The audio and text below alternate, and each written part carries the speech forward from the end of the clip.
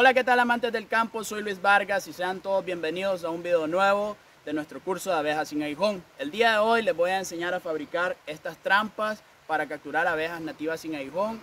Además les enseñaré a cómo se fabrica un atrayente eh, que nos brinde los mejores resultados. Sin más que decir, empecemos. Pero no olvides suscribirte. Suscríbete.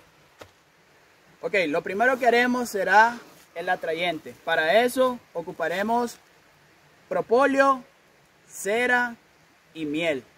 Con esos tres ingredientes más alcohol al 70% de cualquier marca, vamos a realizar nuestro atrayente. Ahora te enseñaré el procedimiento de cómo fabricar dicho atrayente. En una botella limpia agregaremos los tres ingredientes que mencionaba con anterioridad. Primero agregaremos el propóleo. El propóleo es un producto que elaboran las abejas a partir de la resina de los árboles. Este es el, que, este es el de mayor importancia, el que contiene eh, las feromonas de la abeja, el olor de la abeja. Esto es lo que atrae realmente a la abeja. La cera les va a ayudar a ellas para que cuando ellas se establezcan en las colmenas, pues logren eh, hacer más rápido lo que son sus estructuras, sus discos de cría, sus potes de miel, etc. Y luego ocuparemos miel. No olvides ocupar miel Barmon.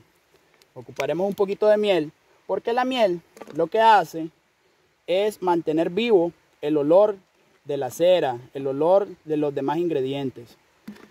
Con esos tres ingredientes agregamos alcohol, ya sea de 70% o de 96%. Siempre tienes que agregar por encima de los productos que, de los ingredientes que agregaste anteriormente. Luego debes dejar macerar o reposar este engrudo, esta sustancia, y agitarla diariamente por alrededor de unos 7 días hasta que esto se convierta en una mezcla homogénea que tú la puedas usar en las trampas que a, continuación te enseñaré a fabricar. Ahora que ya aprendimos a hacer un atrayente que da excelentes resultados, te enseñaré a elaborar las trampas eh, modelo PET para que podamos capturar esas abejas o esa tu primer colmena que tanto deseas. Okay. Para elaborar la trampa necesitaremos una botella PET de 2 litros y con ayuda de un encendedor procederemos a hacer un doblez en la punta de esta manera.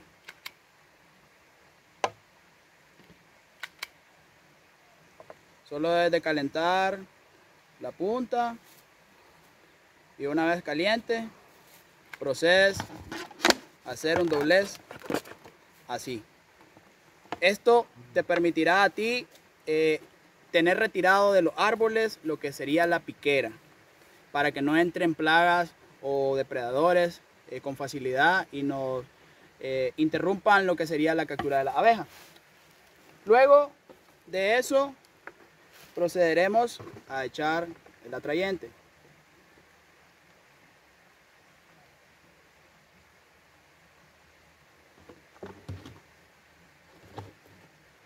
y a distribuirlo por toda la botella.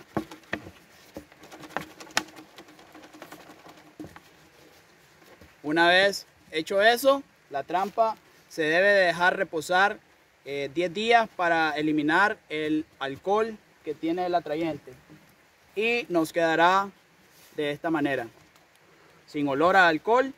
Luego procederemos con ayuda de periódicos, revistas, a envolverla en para eso, eso va a ayudar a darle oscuridad a la trampa, para que las abejas crean que es un árbol y para ayudarles a la termorregulación de ellas mismas. Recordemos que estas abejas tienen problemas con la termorregulación. Nos quedará de esta manera la trampa forrada. Recuerda usar suficiente cartón, suficiente revista o suficiente periódico para hacer este paso. Espera, olvidaba decirte que antes de forrar la botella con papel debes de abrir tres orificios en la parte de arriba de la botella y dos orificios en la parte del doblez que hicimos a la botella. Esto sirve para que la humedad generada por el efecto de condensación salga y sea absorbida por el papel. Así aumentaremos el número efectivo de colonias de abejas capturadas. Ahora sí, podemos continuar. Luego procederemos a utilizar dos bolsas de plástico eh, negro para ayudar a proteger lo que sería el cartón y ayudar a darle eh, oscuridad a la trampa. Y nos quedará de esta manera. Pueden mirar ahí conmigo una abeja que ya sintió el olor del atrayente que tiene esta trampa. Ahora, años anteriores yo he ocupado yo he ocupado tapas, siempre colocamos tapas a las colmenas porque eh, para que no nos entren depredadores y les abrimos un, un orificio muy pequeño. Pero hemos notado que la mayoría de las abejas que caen son de la especie Tetragonisca angustula.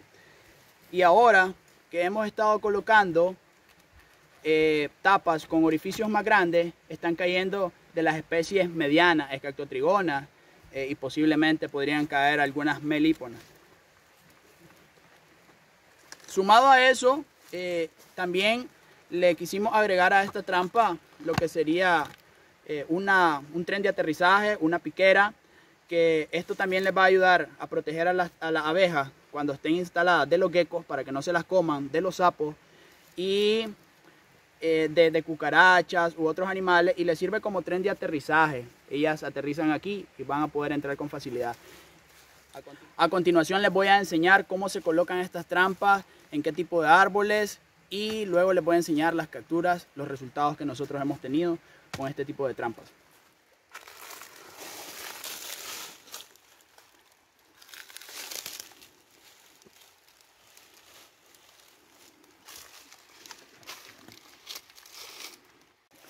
Ok, vamos a colocar las trampas en este tipo de árbol. Árboles gruesos, frondosos.